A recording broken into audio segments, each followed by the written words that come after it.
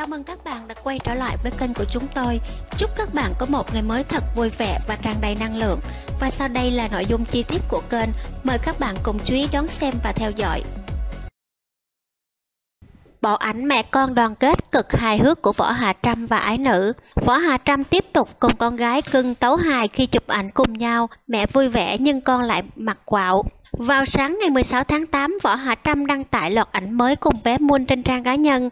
Giọng ca chợt như giấc mơ đặt tên album này là Mẹ con đoàn kết. Trong ảnh, cô bé Moon cẩn thận, ôm con vào lòng và cười rất tươi. Nữ ca sĩ cũng thể hiện niềm hạnh phúc khi được ở bên cạnh vui đùa bên con trong những ngày nghỉ quanh quẩn ở tại nhà.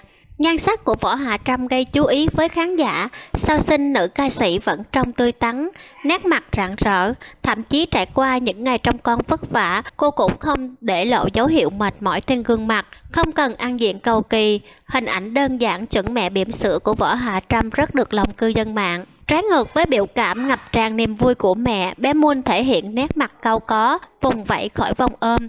Biểu cảm nhăn mặt, ánh mắt như nói lên không thích chụp hình nhưng mẹ bắt chụp hoài, khiến dân tình cười xỉu. Bên dưới bài đăng giọng ca mẹ là Vân Trăng cũng bất lực chia sẻ. Em Moon vậy thôi chứ em ít quạo lắm mọi người ơi.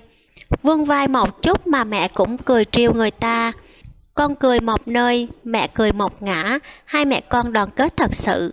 Không biết đây là biểu cảm gì nhưng mà thật sự quá trời hài hước. Rồi chụp xong chưa mẹ, con hơi mệt rồi, muốn nói. Cuối cùng thì cũng bung, mặt khó ở như thế này bảo sao võ hạ trăm không bật cười thích thú. Bé Moon như muốn né tránh ống kính không chịu hợp tác với mẹ. Bộ ảnh mẹ con đoàn kết của Võ Hạ Trâm và bé Moon thu hút sự chú ý của cộng đồng mạng. Chân tình tiếp tục thể hiện sự trầm trồ về dáng vẻ chuẩn thánh me me của tiểu công chúa nhà ca sĩ. Fan còn trêu Võ Hạ Trâm đang ép con tỏ vẻ đoàn kết, nếu không sẽ chẳng có ảnh chụp chung. Có vẻ mẹ ép em đoàn kết, đây là cố tình đoàn kết với người ta, nhìn mặt người ta là biết bị ép buộc rồi, trình độ quạo đạt chuẩn quá mẹ trăm ngang. Em muốn có ba chụp nữa mà mẹ không chịu nên em quạo á mẹ. Bé Moon nói tôi không muốn chụp hình mà cứ ép không à. Đó là những bình luận từ phía cư dân mạng. Cư dân mạng lại tiếp tục được fan cười xỉu lên xỉu xuống vì biểu cảm của bé Moon. Tuy chỉ mới chào đời, bé Moon đã có sức hút mạnh mẽ trên mạng xã hội. Cư dân mạng còn gọi vui nhóc tỳ là thánh nữ mặc quạo mới của Vbiz. Mỗi lần chung khung hình với mẹ nhóc tỳ đều có biểu cảm khó đỡ. Trước đó nữ ca sĩ cũng chia sẻ khoảnh khắc con khó chịu vì mẹ không đưa đi chơi. Say đắm ngắm nụ cười của Võ Hà Trâm Là một trong những ca sĩ có bề dày hoạt động nghệ thuật khá lâu, Võ Hòa Trâm được nhiều người yêu mến không chỉ bởi tài năng vượt bậc mà còn ở đời sống hoạt động nghệ thuật sạch, nói không với canh đan, vốn gắn liền với hình ảnh ca sĩ của dòng nhạc truyền thống cách mạng, Võ Hạ Trâm khiến nhiều người bất ngờ khi quyết định làm mới bản thân thử sức ở những dòng nhạc sôi động bốc lửa, phù hợp với thị hiếu âm nhạc hiện nay. Nữ ca sĩ từng tốt nghiệp đại học ở nhạc viện và sang Mỹ học thạc sĩ trong 2 năm.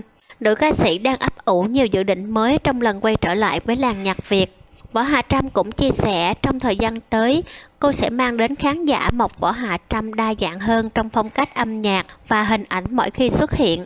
Võ Hạ Trâm đẹp dịu dàng trong bộ trang phục áo dài truyền thống. Bộ ảnh của Võ Hạ Trâm được chụp trong những ngày cuối năm 2018. Tại không gian vừa hiện đại vừa truyền thống, nữ ca sĩ đã thổi hồn vào bộ ảnh. Vẻ đẹp nhã nhàng thanh thoát của cô dường như đã xua đi cái bận rộn của những ngày giáp Tết 2018. Những chiếc áo dài võ hà trăm diện trong bộ ảnh mang vẻ đẹp thâm trầm nhẹ nhàng nhưng thanh lịch đơn giản tôn lên vóc dáng yêu kiều của cô. Chất liệu lụa gấm tạo nên sự hoàn hảo cho chiếc áo dài truyền thống nhưng vẫn mang hơi thở của hiện đại, giúp vóc dáng của người phụ nữ luôn mềm mại và bay bổng. Bản tin của chúng tôi đến đây đã kết thúc. Cảm ơn các bạn đã quan tâm và theo dõi. Hẹn gặp lại các bạn ở những bản tin tiếp theo.